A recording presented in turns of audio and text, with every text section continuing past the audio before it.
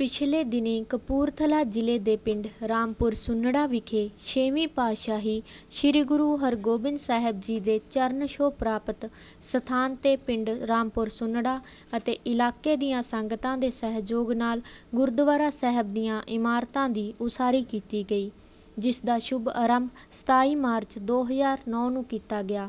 ਇਸ ਉਪਲਕਸ਼ ਵਿੱਚ ਸਮੂਹ ਨਗਰ ਨਿਵਾਸੀਆਂ ਵੱਲੋਂ ਪੰਜ ਸ੍ਰੀ ਅਖੰਡ ਪਾਠ ਸਾਹਿਬ ਜੀ ਦੇ ਭੋਗ ਪਾਏ ਗਏ। ਇਸ ਅਸਥਾਨ ਤੇ ਛੇਵੀਂ ਪਾਤਸ਼ਾਹੀ ਸ੍ਰੀ ਗੁਰੂ ਹਰਗੋਬਿੰਦ ਸਾਹਿਬ ਜੀ ਨੇ ਇੱਕ ਰਾਤ ਵਿਸ਼ਰਾਮ ਕੀਤਾ ਸੀ ਅਤੇ ਇੱਥੇ ਗੁਰੂ ਜੀ ਨੇ ਦਾਤਨ ਕਰਕੇ ਇਸ ਜਗ੍ਹਾ ਤੇ ਜ਼ਮੀਨ ਵਿੱਚ ਗੱਡ ਦਿੱਤੀ ਸੀ। ਇਸ ਜਗ੍ਹਾ ਤੇ ਇਹ ਫਲਾਈਆਂ ਦੇ ਦਰਖਤ ਹੋ ਗਏ, ਜਿਨ੍ਹਾਂ ਦੀ ਗਿਣਤੀ ਦਿਨ-ਬ-ਦਿਨ ਵੱਧਦੀ ਜਾ ਰਹੀ ਹੈ। ਇਸ ਕਰਕੇ ਇਸ ਗੁਰਦੁਆਰਾ ਸਾਹਿਬ ਜੀ ਦਾ ਨਾਂ ਗੁਰੂ ਦੀਆਂ ਫਲਾਈਆਂ ਰੱਖਿਆ ਗਿਆ। ਇਸ ਗੁਰਦੁਆਰਾ ਸਾਹਿਬ ਦੀ ਉਸਾਰੀ ਵਿੱਚ ਪਿੰਡ ਰਾਮਪੁਰ ਸੁੰਨੜਾ, ਆਸ-ਪਾਸ ਦੇ ਪਿੰਡਾਂ ਦੀਆਂ ਸੰਗਤਾਂ ਅਤੇ ਐਨ ਆਰ ਆਈ ਵੀਰਾਂ ਭੈਣਾਂ ਦਾ ਵਿਸ਼ੇਸ਼ ਯੋਗਦਾਨ ਰਿਹਾ। ਪੰਜ ਸ੍ਰੀ ਅਖੰਡ ਪਾਠ ਸਾਹਿਬ ਜੀ ਦੇ ਭੋਗ ਉਪਰੰਤ ਧਾਰਮਿਕ ਦੀਵਾਨ ਸਜਾਈ ਗਈ ਜਿਸ ਵਿੱਚ ਪ੍ਰਸਿੱਧ ਢਾਡੀ ਜਥਿਆਂ ਨੇ ਢਾਡੀ ਵਾਰਾਂ ਰਾਹੀਂ ਸ੍ਰੀ ਗੁਰੂ ਹਰਗੋਬਿੰਦ ਸਾਹਿਬ ਜੀ ਦੇ ਇਤਿਹਾਸ ਬਾਰੇ ਜਾਣੂ ਕਰਵਾਇਆ।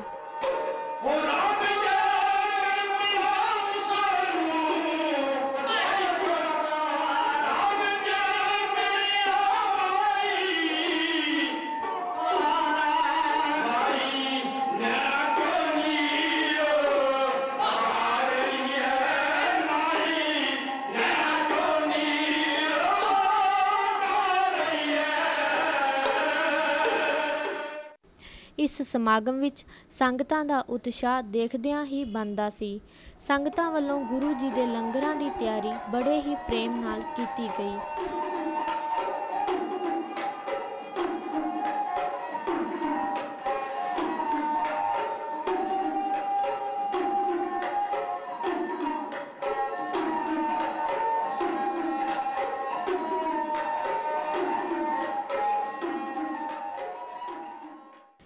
ਇਤਿਹਾਸਿਕ ਗੁਰੂ ਘਰ ਦੇ ਬਾਰੇ ਹੋਰ ਜਾਣਕਾਰੀ ਦਿੰਦਿਆਂ ਪਿੰਡ ਰਾਮਪੁਰ ਸੁੰਨੜਾ ਤੋਂ ਸਰਦਾਰ ਜਸਵੰਤ ਸਿੰਘ ਧੁੱਗਾ ਜੀ ਨੇ ਦੱਸਿਆ। ਸਾਡਾ ਪਿੰਡ ਰਾਮਪੁਰ ਸੁੰਨੜਾ ਜ਼ਿਲ੍ਹਾ ਕਪੂਰਥਲਾ ਵਿੱਚ ਆ।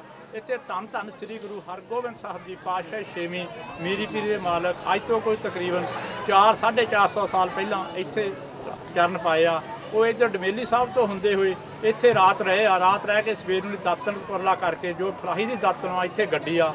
ਉਹ ਫਰਾਈ ਦੀ ਦਾਤਨ ਦੇ ਅੱਜ ਕੱਲ ਬਹੁਤ ਸਾਰੇ ਬੂਟੇ ਹੋਏ ਆ, ਉਹਨਾਂ ਦੀ ਜੋ ਨਿਸ਼ਾਨੀ ਆ, ਉਹ ਉਸੇ ਜਗ੍ਹਾ ਤੇ ਆ ਸਾਡੇ ਪਿੰਡ ਦੀ ਸਾਰੀ ਸੰਗਤ ਨੇ, ਜਿੰਨੀ ਸਾਡੇ ਪਿੰਡ ਦੀ ਸੰਗਤ ਆ, ਹੋਰ ਸਾਡੇ ਪਿੰਡ ਦੇ ਰਿਸ਼ਤੇਦਾਰ ਵੀ ਆਂਢੀ ਗੁਆਂਢੀਆਂ ਨੇ ਵੀ ਵੱਧ ਚੜ ਕੇ ਆਲੇ ਦੇ ਪਿੰਡਾਂ ਨੇ ਸੇਵਾ ਕਰਕੇ ਇੱਥੇ ਗੁਰਦੁਆਰੇ ਦੀ ਬਹੁਤ ਅਲੀਸ਼ਾਨ ਇਮਾਰਤ ਬਣਾਈ ਆ। ਉਹਨਾਂ ਦਾ ਜੋ ਅੱਜ ਤੋਂ ਕੋਈ 3 ਸਾਲ ਪਹਿਲਾਂ ਬਣਾਉਂਦਿਆਂ ਬਣਾਉਂਦਿਆਂ ਨੂੰ ਲੱਗ ਗਿਆ ਆ, ਅੱਜ ਉਹਨਾਂ ਨੂੰ, ਅੱਜ ਉੱਥੇ ਅਖੰਡ ਪਾਠ ਸਾਹਿਬ, ਪੰਜ ਅਖੰਡ ਪਾਠ ਸਾਹਿਬ ਪਿੰਡ ਦੀ ਸੰਗਤ ਦੇ ਹਿਸਾਬ ਦੇ ਨਾਲ ਉਹਨਾਂ ਦੀ ਕਿਰਪਾ ਦੇ, ਸਾਰੇ ਸੰਗਤ ਦੀ ਕਿਰਪਾ ਦੇ ਨਾਲ ਇੱਥੇ ਅਖੰਡ ਪਾਠ ਸਾਹਿਬ ਪਰਸੋਂ ਤੋਂ ਸ਼ੁਰੂ ਕਰਾਏ ਸੀ। ਅੱਜ ਉਹਨਾਂ ਦਾ ਭੋਗ ਪਿਆ, ਅਖੰਡ ਕੀਰਤਨ ਜਥੇ ਨੇ ਕੀਰਤਨ ਕੀਤਾ, ਢਾਡੀ ਵਾਰਾਂ ਗਾਈਆਂ, ਉਹਨਾਂ ਦਾ ਸਾਰਾ ਛੇਵੇਂ ਪਾਤਸ਼ਾਹ ਦਾ ਇਤਿਹਾਸ ਸੁਣਾਇਆ। ਸ੍ਰੀ ਗੁਰੂ ਹਰਗੋਬਿੰਦ ਸਾਹਿਬ ਜੀ ਦੀ ਚਰਨ ਛੋਹ ਪ੍ਰਾਪਤ ਇਸ ਗੁਰੂ ਘਰ ਦੇ ਸ਼ੁਭ ਆਰੰਭ ਮੌਕੇ ਤੇ ਡੇਰਾ ਬਿਸ਼ਨਪੁਰੀ ਨੰਗਲ ਖੁਰਦ ਦੇ ਡੇਰਾ ਸੰਚਾਲਕ ਸ਼੍ਰੀਮਾਨ ਸੰਤ ਬਿਕਰਮਜੀਤ ਸਿੰਘ ਜੀ ਉਚੇਚੇ ਤੌਰ ਤੇ ਸ਼ਾਮਿਲ ਹੋਏ। ਅਤੇ ਗੁਰੂ ਘਰ ਦੀਆਂ ਇਮਾਰਤਾਂ ਨੂੰ ਬਣਾਉਣ ਲਈ ਜਿਨ੍ਹਾਂ ਗੁਰਮੁਖਾਂ ਨੇ ਤਨ, ਮਨ ਅਤੇ ਧਨ ਦੇ ਨਾਲ ਆਪੋ ਆਪਣਾ ਯੋਗਦਾਨ ਪਾਇਆ, ਉਹਨਾਂ ਨੂੰ ਸੰਤ ਬਿਕਰਮਜੀਤ ਸਿੰਘ ਜੀ ਨੇ ਗੁਰੂ ਘਰ ਦੀ ਬਖਸ਼ਿਸ਼ ਸਰੋਪਾਓ ਦੇ ਕੇ ਸਨਮਾਨਿਤ ਕੀਤਾ।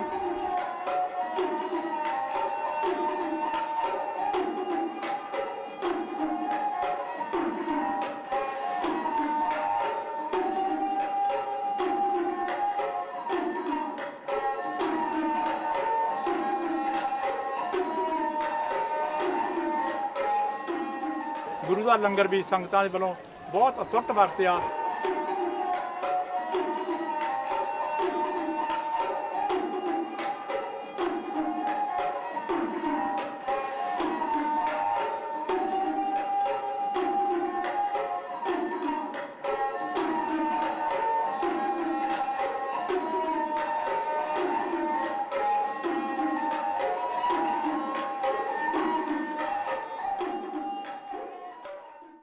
ਅਸੀਂ ਉਹਨਾਂ ਸਾਰੀਆਂ ਸੰਗਤਾਂ ਦਾ ਬਹੁਤ ਧੰਨ ਧੰਨਵਾਦ ਧੰਨਵਾਦ ਕਰਦੇ ਹਾਂ।